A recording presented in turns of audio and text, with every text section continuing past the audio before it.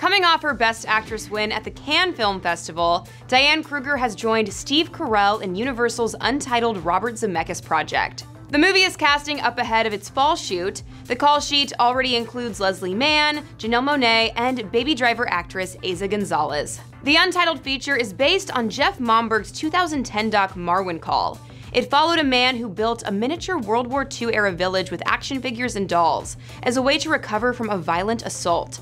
The studio is describing the project as one broken man's fight as he discovers how artistic imagination can restore the human spirit. Carell will play the broken man who builds the miniature set, with Zemeckis creating an entire World War II fantasy village that the character escapes to, populated by the man's real-world alter egos. Kruger will play the Belgian witch of Marwen, who revives Carell's alter ego every time he is killed by Nazis.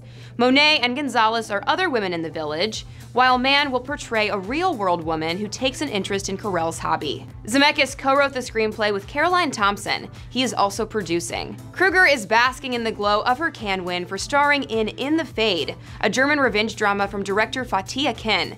She is also due to star with Kristen Stewart and Laura Dern in the drama JT Leroy. For more on this story, check out THR.com. I'm Tiffany Taylor for The Hollywood Reporter News.